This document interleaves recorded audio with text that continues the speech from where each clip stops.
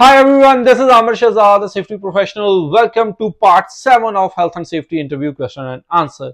This series is particularly designed for health and safety professionals. You can find a lot of videos on YouTube in which people will be guiding you about interview question and answer. But this series is particularly designed for health and safety professionals. So either you are going for the position of the manager or just an officer. These are the questions which you should know at least. Already covered these six questions which are tell me about yourself, why you are interested in this position, can you provide an example of challenging situation at work and how you had handled it? How do you stay updated on health and safety regulations and industrial standards? And the last one was how do you handle the collaboration and communication with the cross-functional teams? Most of the companies usually want someone who knows about the ISO standards or who had done internal or external audits. So this question is about that. An interviewer can ask you, can you provide an example of when you had to lead or support the internal audit related to ISO standards? So like other videos, we will be dividing this video also in two parts. Firstly, what actually interviewer want to listen from you guys. And secondly, how actually you will be giving an answer for this question. So before moving further, I would like to request you, if you are new at this channel, please subscribe the channel. And if you find this video informative, hit the like button. Moreover, after listening my answer, you can put your answer in the comment box.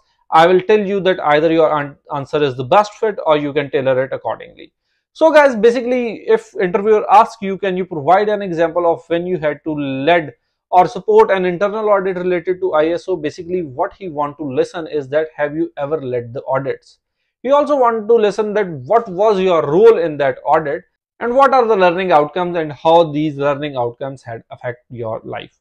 I will say at Philip Morris, I actively supported internal audit and even led the risk assessment, hazard investigation, and incident management activities. I had played a critical role in driving compliance with ISO standards, specifically ISO 14001 2015, ISO 45001 2018, and ISO 5001 2018.